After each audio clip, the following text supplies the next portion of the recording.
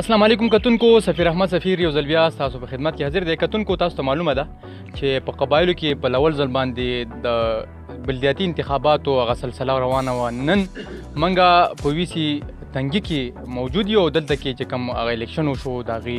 کې چې کوم امیدواران وو هغه کې څوک کامیاب شو څوک پکې ناکام شو چې کم پکې کامیاب شوی دی دا غو سره بمنګه خبرې اترې کو په سیاسي میدان کې زما سره چې کم کاندیدټ موجود دی حاجی رضا شاه صاحب دا د وی سی تنګینا د جنرال سیټ نه ولاړو نن هغه کې دا چیرمن شو د وی سی تنګي د سره خبرې کو چې دیو څه احساسات دی او دیو څه کم سوچ دی فکر څه دی او د علاقې د پاره بس کول غواړي دیو سره خبرې کو رضا شاه صاحب د ټیم را کولې جهان مننه اعوذ بالله من الشیطان الرجیم بسم الله الرحمن الرحیم د ټولو نه مخکې سفیر احمد صاحب زه ستاسو ډیره شکریا ادا کوم چې تاسو رالی او په دې اهمه موقع باندې او خپل ټایم هم ضایع کو او موږ له موقع راکه خپل وخت هم راکو نو ستاسو د ټایم راکولو ډیره شکریا او ډیره مننه مهرباني رضا شاه صاحب درته و چې نن تاسو ویسی تنګي کې کامیاب شوي او د ټول ویسی تاسو چیرمن جوړ شوي کوم احساسات دي کوم سوچ دی نن تاسو څه احساسات لرئ نن د موږ کتونکو سره شیر کړئ د ټولو نه مخکې سفیر احمد صاحب زه د تنګي زګړې ری پام پوخي شو لیغونی کربوړی باګوړی د دې خلکو انتهایی د زړه د کومې نه شکریا دا کوم چې هغه مال په دې الیکشن کې یو ډیره مینه راکړه او هغه یو داسې جذبه باندې مال وټ راکو په مای یو داسې اعتماد وکړو چې زه د دیو د د د دې جذبي او د دیو د دې کم مینه چې مال راکا نو زه د سیل پاز زما سنشت چې دا غو زه شکریا دا کم پاغي باندې صحیح دا راته ووایه چې تاسو د جمعه اسلامي کاندیډیټ وئ د جنرال سیټ دپاره تاسو نن کامیاب شولئ کم سوچ لرئ د علاقې دپاره د علاقې چې کوم مسایل دي هغې کې تاسو به کوم داسې پیشرفت کوئ کوم عملي کارونه به تاسو کوئ الحمدلله چې هغه په جماعت اسلامي باندې دونه اعتماد وکړو او ان شاء الله وس دی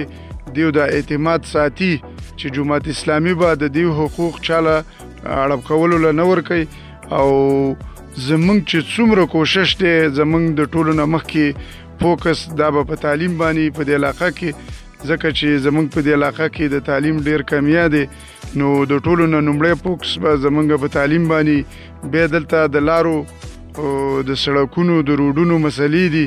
ان شاء الله څومره چې زمونږ نه کې دی شي نو زمونږ به کوشش شي چې د دې علاقې د استونزې د کړمې دا مونږه ډیر په لږ وخت کې ختم کو بل دلته د اوبو تکلیف دی نو مونږ د علاقې خلک ان شاء الله زمونږ به کوشش دای چې څومره زر زمونږ نه کې دی شي نو چې د دیو د استونځ او کړه مې مونږه ختم کړو صحیح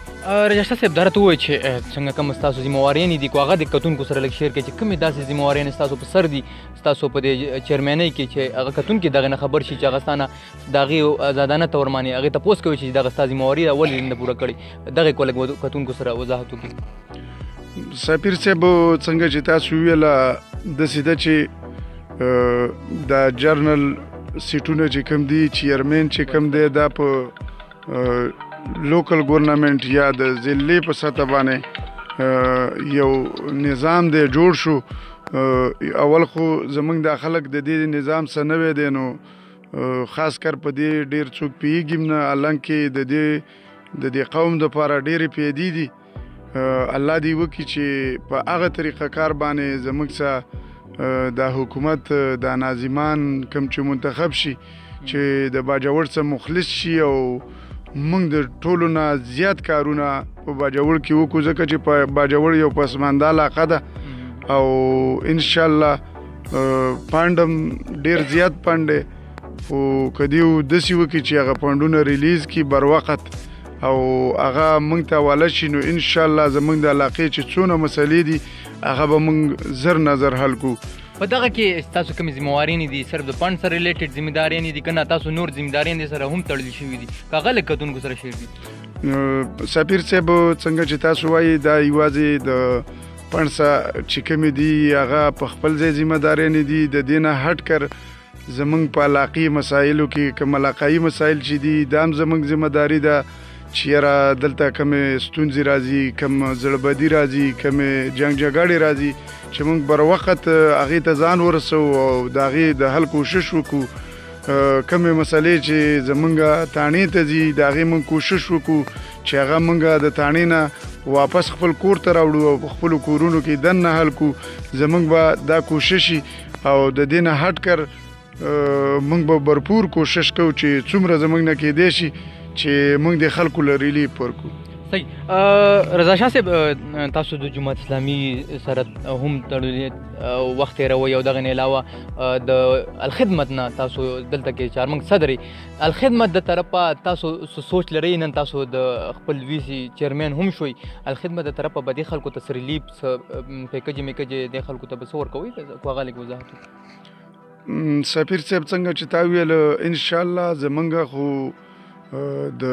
الخدمت چې کوم پروګرامونه دي نو هغه مونږ لګي تاسو ته مخکې ما یو پیر د غي ذکر کړو چې د غي نه مونږه لس کوین